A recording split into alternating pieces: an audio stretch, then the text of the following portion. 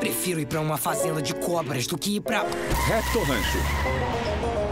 Não deve ser tão ruim assim. Ah, ai, que nojo! É só uma cobrinha bebê. Ai, ui, você tem medo de cobras também. Gwendolyn, para. Eu tenho medo de lulas. Pode até achar que tentáculos têm o mesmo tamanho e formato que as cobras, mas cobras ah, não estão ligadas ao corpo nem nada. São meio que tentáculos sozinhos, mas ainda vivos e ainda tremendo.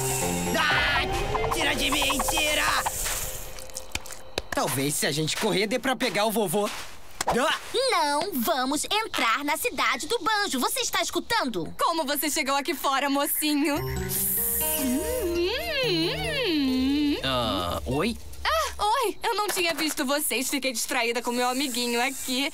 Fazendo o que aqui fora, Mortimer, seu sapeca? Eu sou a doutora Mary Jo Quatro Penas, herpetóloga. Vocês dois devem ser os voluntários do rancho. Acho que a gente vai ficar aqui fora. Não foi o que seu avô disse no celular. Ele ligou pra você? Não dá pra deixar crianças aqui e ir embora. Agora vamos começar. Não pode ser pior que a cidade do Banjo, eu acho. E essa é a joia maravilhosa do Repto Rancho, nosso novo solário. Uau, legal. Uma redomazona. Eu controlo a temperatura para os nossos amigos de sangue frio com um sistema de iluminação solar de última geração. Eu mesma que projetei. Sistema de iluminação. É hora da rave! Temos que tomar cuidado com essa luz.